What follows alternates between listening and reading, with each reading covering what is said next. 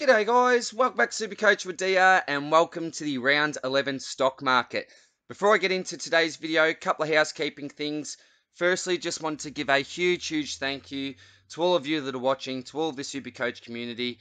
Just reached a thousand subscribers, so extremely humbled by that and really, really appreciate all the kind words and support. So thank you, thank you so much. It really does mean a lot. Secondly, I have not uploaded my round review yet.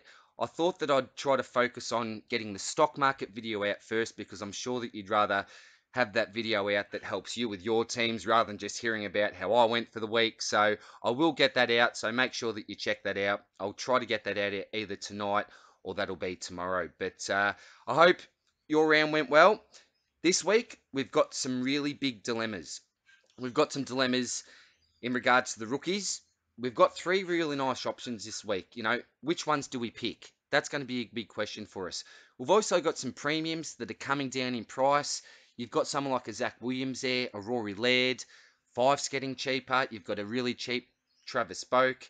There's lots of options that we can be looking at at this stage. So I think for some of us, we may be looking to get a pod into the side because our teams may be looking a little bit vanilla and we want to make a bit of a surge in the rankings there. And I think another big discussion point this week is going to be all about that man we see at the bottom of the chart, Max Gawn. Massive, massive break even this week. Question marks on whether or not he'll even get up. If he does get up, we know that he's going to drop in value. So I've got a bit of a crazy plan myself. Not sure if I'm going to follow through with it.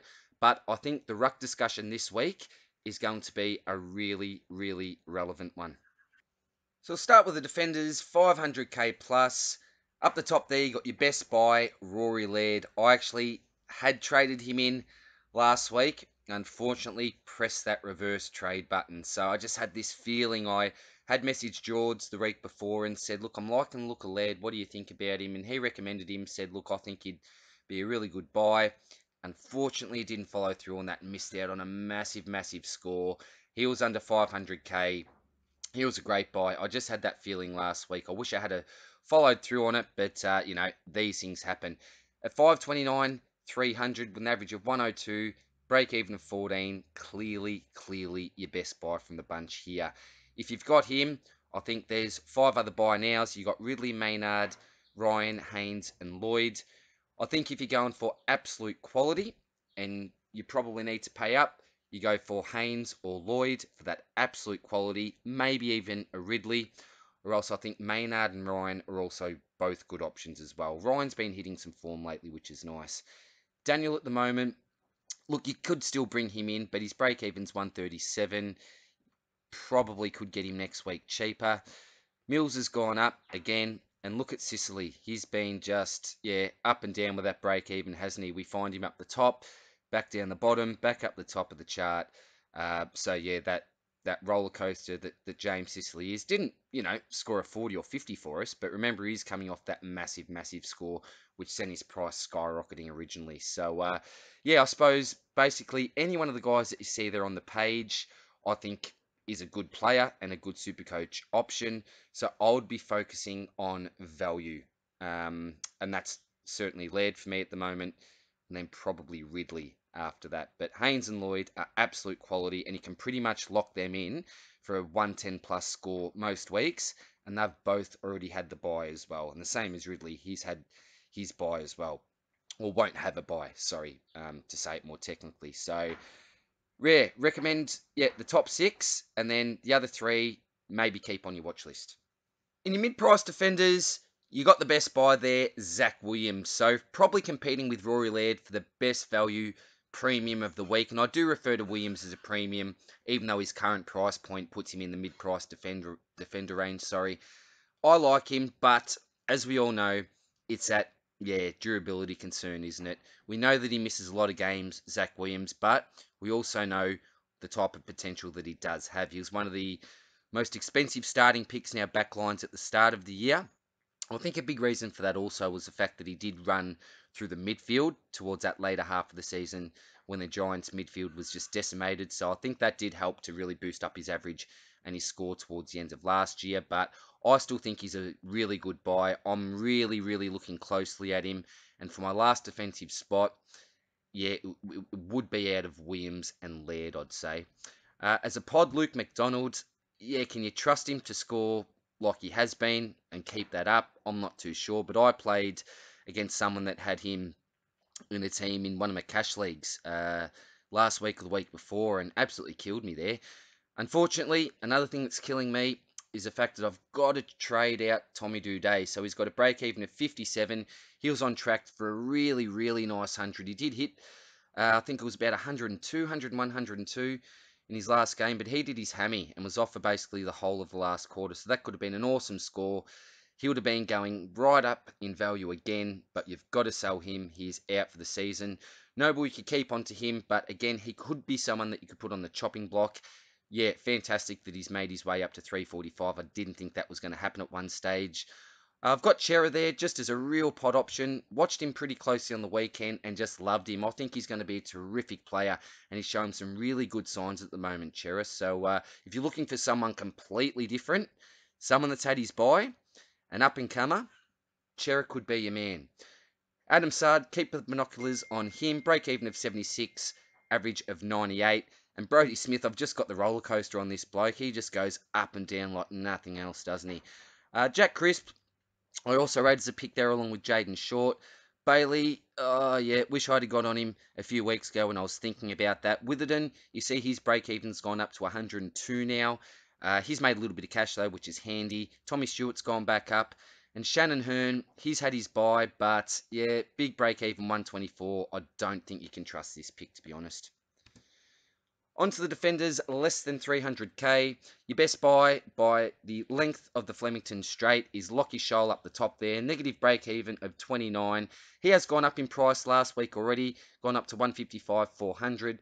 But if you're comparing the other options there, I think he's definitely your best buy.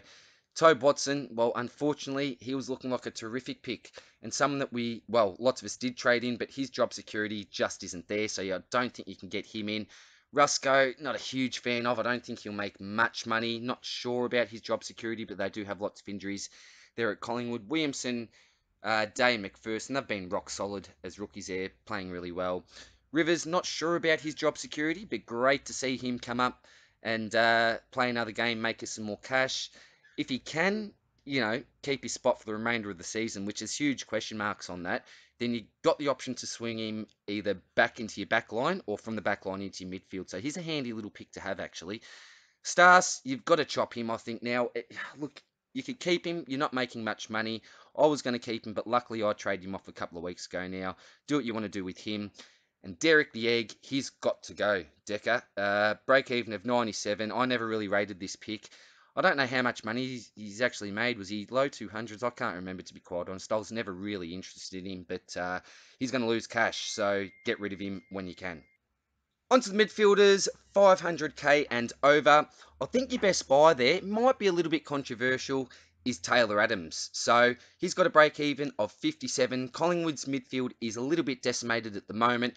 Average of 112. Still a pod, Taylor Adams. I'm assuming a lot of that's due to the fact that you know, he's he's not the most durable player that's out there, but I think if you look at his, you know, last couple of years, he hasn't been too bad. I'm thinking of taking a punt on Taylor Adams. Look, there's a few guys that I'm thinking of taking a punt on at the moment and probably going a little bit crazy, but uh, I think, yeah, he's he's probably your best buy there. You could say that someone like a Clary is, with a break even of only 72. But the big difference, obviously, is you're paying 150k more for Clary. So I'd prefer to go an Adams because I could use that 150k in so many other ways on other lines at the moment. Wines, I think he's a bit of a trap. I would not be going there. Bont, I like him a lot better than Wines. Uh, you can see they're basically identical there with the break-evens, averages, only 10k separating them in price. I'd much rather go Bont over Ollie Wines. Menegola, talk about a pod. Um, yeah, Huey was seriously considering this guy at the start of the year, which was a huge move. And uh, yeah, Spewny didn't go through all that, mate. But he's been in ripping form lately. He's been getting a lot of midfield time. But you know, he's it got, it, how many was it? I think it was was it four or five intercept marks. I could be making that up, but geez, he's damaging all around the ground at the moment, Menegola, and uh, yeah, getting a lot of time uh, in Supercoach friendly positions at the moment. Clary, as I said, really good buy there. Zeret, he's been in good form, 73 break even. You can buy him now. Titch you can buy now, along with Cogs. I actually, yeah, don't don't mind Cogs as a pick because he's already had his buy, along with Titch. He was disappointing last week, Titch. I got him in personally myself. Um, just wasn't damaging, didn't do enough with the ball, unfortunately. So uh, definitely not a failed pick. Hopefully he can jump back on the horse and get another 120 to 130 plus. That would be lovely. Uh, Jarryd Lyons, he's been terrific, this bloke. Um, yeah, massive pod, hugely underrated. And uh, if you check out Spill's video earlier on the year, he actually had one, uh, had uh, Jarryd Lyons, sorry, as a sneaky pod pick to start with. So, uh, yeah, great job there, Spills. Nat Fyfe, uh, definite buy now, I think. Break even's gone down to 105 now. That's been in the 200s for a couple of weeks. So he's come back down to 575. We know that he was around the mid 600 marks, pushing towards 700 in the form that he was in. It's a risk because we know his injury history. We all know that. But uh, at the price that you're paying, even if he spends time in the forward line, I still think that he can go 120 plus most weeks. He's just a gun, at Fyfe, So the risk is that he could do another hammy, be out for the rest of the season. But on the positive side, he's got a massive ceiling. We know what the man can do. So we only need need him to play for six weeks. So if he can do that, I think he'll be a terrific, terrific boy. Talk about underrated um, and just under the radar. I've given this guy no credit whatsoever. I wouldn't even say not enough credit because I've given him nothing, Trent Dumont. But you can't really ignore him anymore. 577,000, 107, 107. So right on the average and the break even there. There's no way in the world I could bring this bloke in, but I thought I've just got to chuck his name out there just to give him a little bit of credit because I think he deserves it. Simpkin, everyone's been talking about this year, but this is a bloke that looks to have really, really stepped up lately.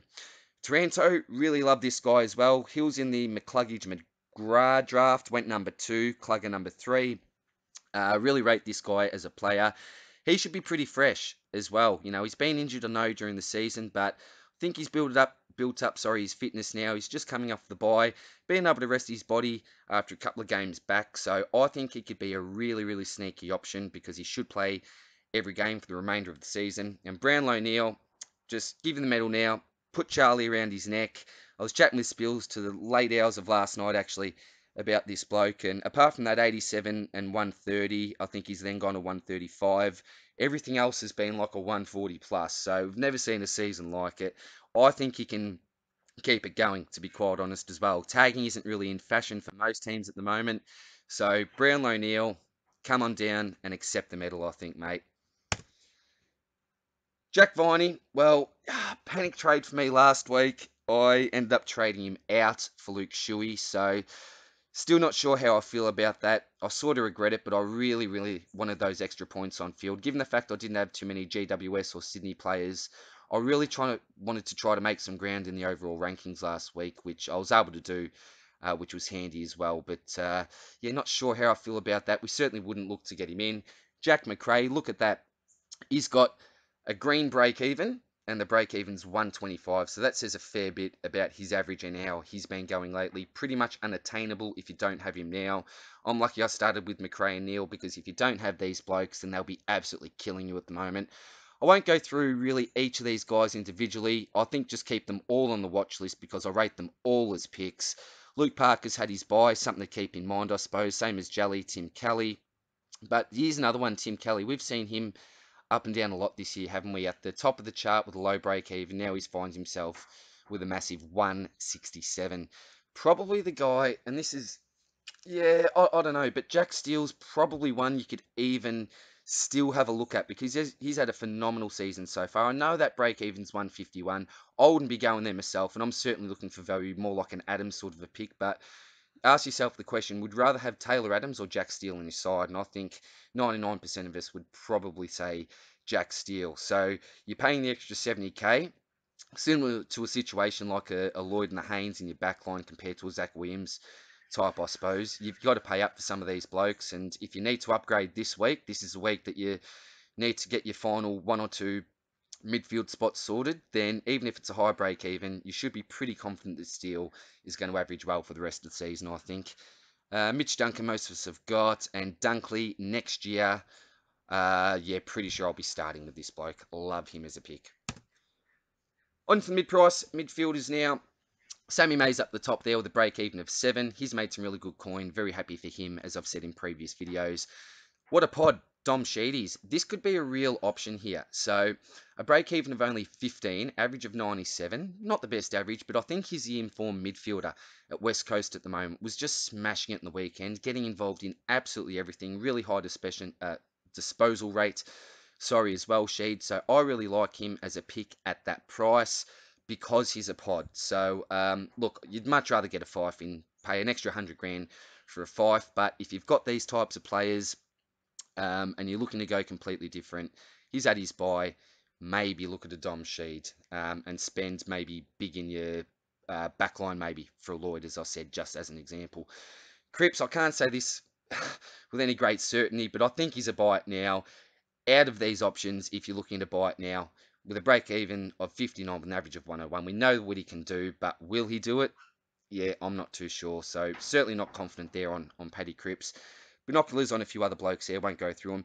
Travie Boak, he's a really interesting one because I went completely cold on him last week after watching him the week before. And then if I'd have watched him play like he did in his last match the week before, he'd be in my side at the moment. So yeah, he's up and down.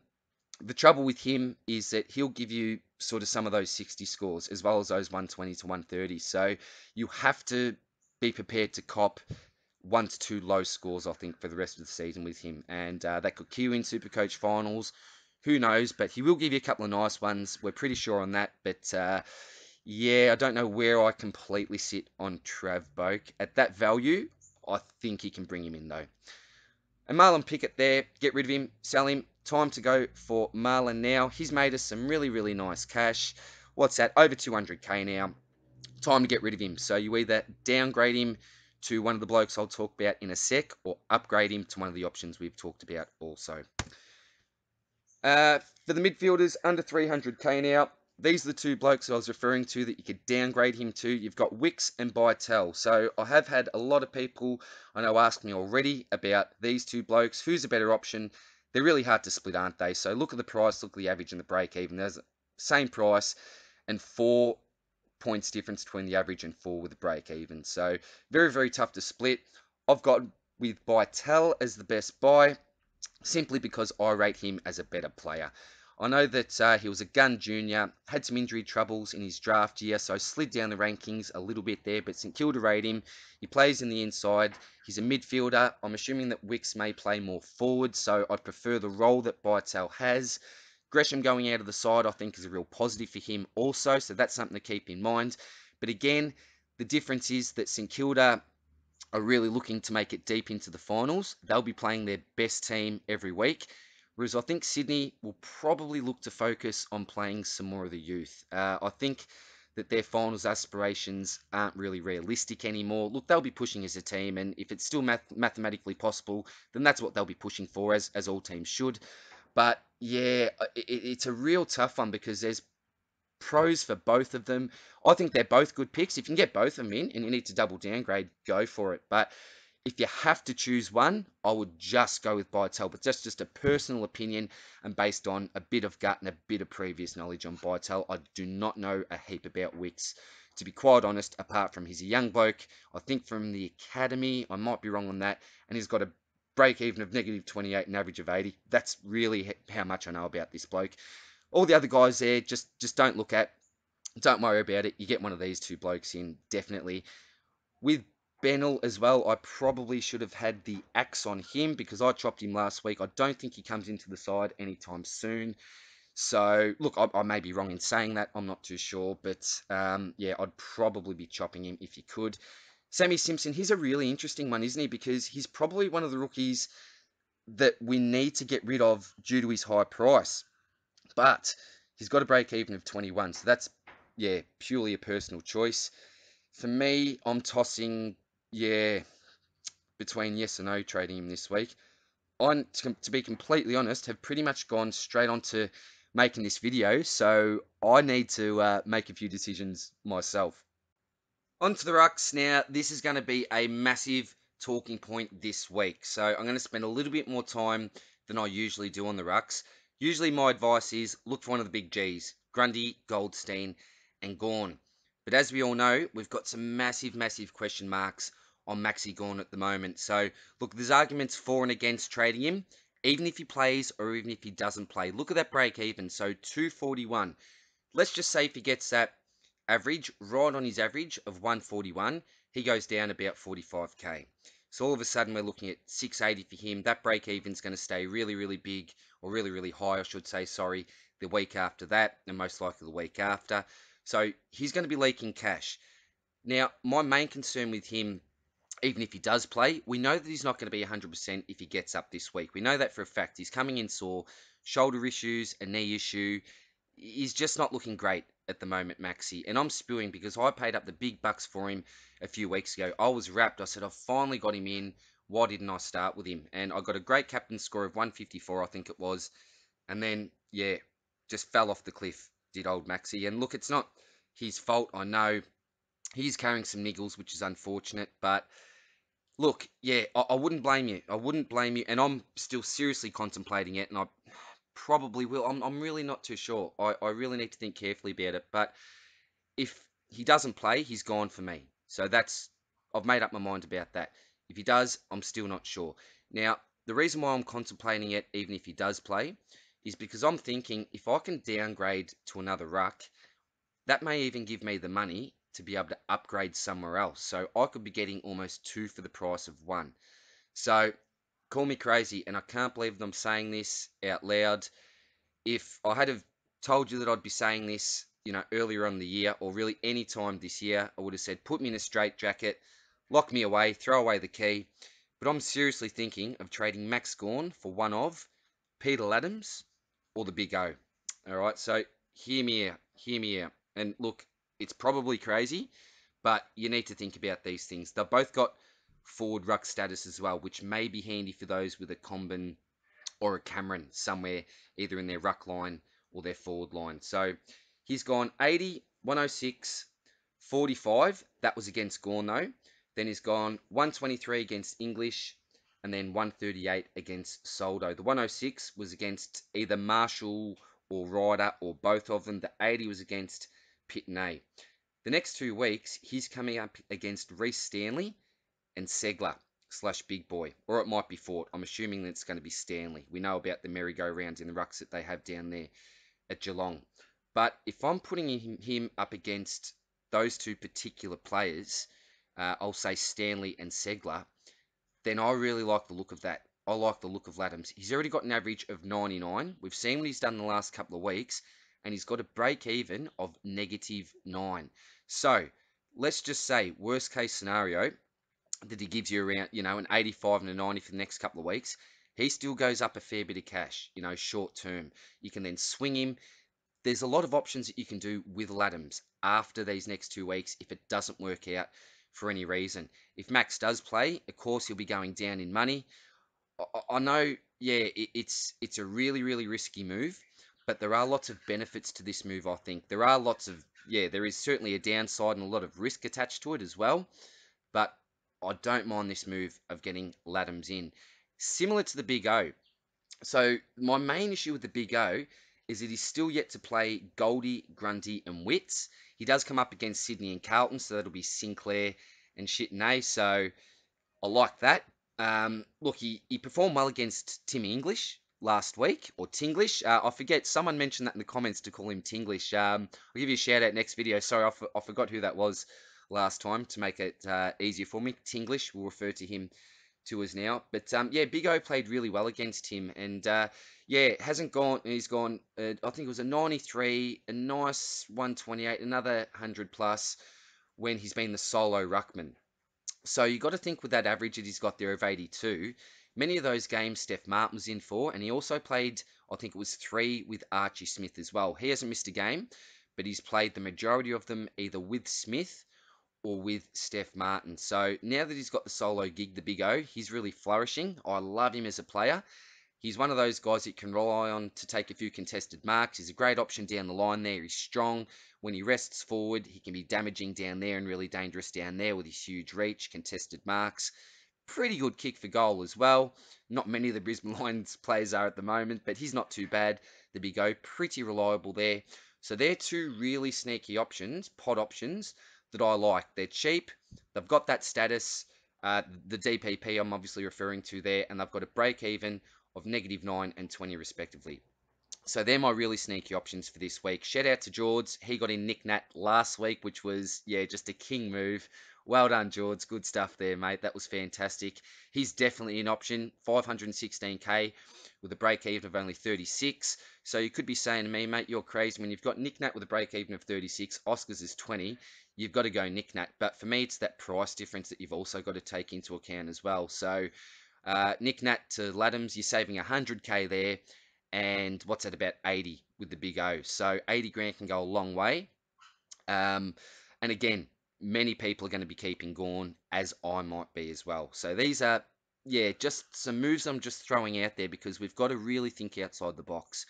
Goldstein, I suppose you could still go to. You're going to lose a bit of money. I don't think he'll reach that 145. He hasn't been hitting those really big scores as of late, um, but certainly an option. If you haven't got Grundy, I'd recommend to get him. Only concern is there was rumours he was going to be rested. Was it last week? He obviously wasn't and played pretty well. Um, nothing like the Grundy that we've seen in the previous probably year or two lately. Um, been a little bit down, but uh, certainly someone that you look at. Witts is a real pod, but I wouldn't be going there myself. Ceglar, massive track with Pitney. Uh, obviously, as you know, I probably didn't even need to, to say that. And the other one I've got there as well is Sean Darcy. So he had a massive score last round. He's had the buy. He's 362. So you're saving money on a Ladhams or a Big O type even there. This is a huge risk as well because look at that average of 69. I think one of those may have been injury affected. I'm not too sure. I've never taken much notice of Darcy, to be completely honest. But with a break even of 16, if you, as I said, with, with lots of these options, if you're looking to go right outside the box and go completely different, then he is an option. Couldn't do it myself. But then again, listen to me, I'm thinking of getting Ladhams or Big O in for someone like Max Gawn. It's it's absolutely crazy. But with the amount of trades that I've got, amount of upgrades I've got left. Doedee out for the season killed me because I just wasn't expecting that. I may need to look to make a move, uh, and it may involve Max Gawn because he's guaranteed to go down in money, but he could come out and score a 180. Who knows? That's what Max Gawn can do, and that's why we select him in our sides. But uh, yeah, tough discussion with the Rucks this week. I'll let you know what I'm doing. Geez, well, we, Will I have to make a decision tonight? I'm not too sure. I'll try to race through this so I can make a few decisions of my own. On to the forwards, 500k. I won't spend a heap of time on these blokes, but I think your best buy there is Lachie Whitfield with an average of 100 now, break even of 58. He's been in ripping form last month, Lachie Whitfield, and he's absolutely killed me not having him in my side. Track, oh, what what a gun. I'm actually um, currently, as we, we speak, in the process of making a video about Petracca, and I'm making a new series called the Leapfrog series. Um, so keep keep out for those. They'll be out probably within the next one to two weeks, I think. And I'll just go through a bit of his history and why I think he's really changed his game around and turned his game around from being, I suppose, an average player with a heap of potential to an absolute elite gun of the competition. But uh, yeah, he's he's still a good buy, even at 618. I think I don't see him slowing down anytime soon. So definitely select him with confidence. And Andy Brayshaw, I think he's a buy now as well. Break even of 90, 574. It feels almost wrong paying that for Brayshaw. I understand that because uh, for someone like me who started him, I've made almost 200k on him. He's been a terrific selection. But look, the data speaks for itself. The numbers are speaking for themselves. If you actually watch this guy play, I think you'll be really impressed with him if you look at him closely because I obviously do each week owning him so the top three there, certainly select with great confidence. Walters, bit injury prone, I'd probably stay away. Dusty, break even has gone right back up again. On to the mid-price forwards now. Jack Riewoldt, he's hit a little bit of form. Break even of 12 with an average of 56. If you're looking to make a yeah, really different sort of a move, you could go him, but I wouldn't recommend it. Robbie Gray, he'll be a roller coaster. Low break even this week though. Again, if you're looking to go different. Talk about a pod. I love this guy. Zak Butters is a terrific player, exciting, um, you know, damaging, score involvements, quick. I really, really rate this guy as a player, and I think he's a future gun of the competition, Zak Butters.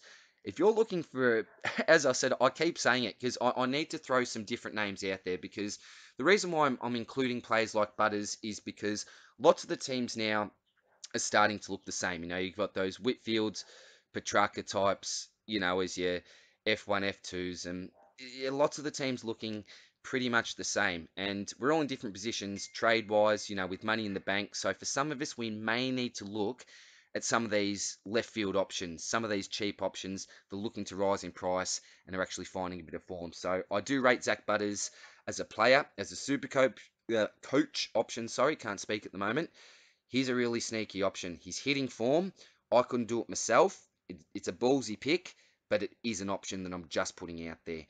Simpkin, I think he's your best buy. Again, I don't say that with great confidence, but he's under 400k now. So if you're looking for someone like a Butters compared to a Simpkin, it's probably safer just going someone like a Simpkin, and you're actually saving about 60k there. So you'd get Simpkin in. He's your best buy out of the lot there. Uh, Shai Bolton, really exciting player as well. And Benny Keays has been a nice pod for those that have selected him. Uh, I probably wouldn't be selecting him at this stage. A lot better options, I think. For example, someone like a Sim. Darcy Parish there with a break even of 79. Liked his game on the weekend. He's got an average of 82, so nothing to write home about, but he could be someone that could finish your forward lines with. Uh, binoculars there on Wingard. He's had his buy. i have never been a fan of Wingard, so I couldn't recommend him personally, but can understand if you want to go there. King, I think that you've got to get rid of now. His break even's now 86, so downgrade or upgrade if you can. We've got a really nice downgrade option, I think, that we'll be talking about in a minute. Binoculars on Baz. He's been really disappointing since I've got him in. Butler, roller coaster. I said this, you know, when, when I started making the Supercoach stock market videos, that he will be up and down just with his roll down Butler. And he was hitting form, and I got to the point where I think I may have even had him as a bite now for one week. I had to give in just due to the numbers and the form that he was in. But yeah, I, I sort of did predict that he would have some of those really low scores, and we've seen that.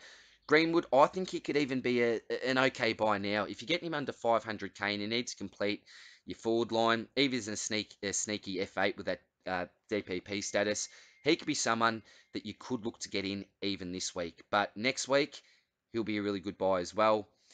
The forwards under 300k, there's only probably one bloke out of this whole list that you actually look to bring in this week, and I think that's Woodcock. So a break even of negative 41 with that average of 62. Little bit worried about his job security, possibly with Brad Ebert coming back in or when he comes back in. But look, really passed the eye test for me. Look, really exciting. He was quick. He was involved in the game and just really, really liked what I saw for him uh, from him. Sorry. So yeah, I'm a, I'm a fan of, of, of Woodcock after watching him from that one game, mind you but I can't comment any further on his job security. So, like him as a player, whether he keeps his spot, that's probably a question for Port Adelaide supporters, and I'll try to do my best to get onto a couple of um, blokes that I know that support Port as well. But uh, yeah, I, I think that if you're looking to get someone in, if he's named, certainly go for it. None of these other blokes, I would. Guys on the chopping block, Budarick, Weightman, Mahoney. Taylor's definitely got to go. I haven't even put the binoculars on him. That's just a, a no-brainer. Get rid of him, downgrade or upgrade. Um, either go down to Woodcock or you'll have to upgrade him. Um, but yeah, those four blokes down the bottom. Weightman, maybe you could keep on to because um, he's a talented player. Does he come back on the side? I'm not too sure, but he's made you basically no cash. So yeah, there's arguments to keep on to him. And Budarick, or Butterick, I keep on switching between the two pronunciations. Apologies for that. Uh, maybe keep on to him because I think it'd be handy to have a DPP swing if you're keeping on to a Brad Close, for example. So that'll do for now, guys. I hope that that helped in some small way. Remember that I will have my round review video coming out either late tonight or tomorrow.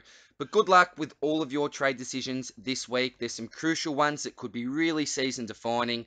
I still don't have any idea where I'm going with mine. I think I better get to that now. So take it easy, guys. All the best and thanks again for all the support. Cheers. Bye.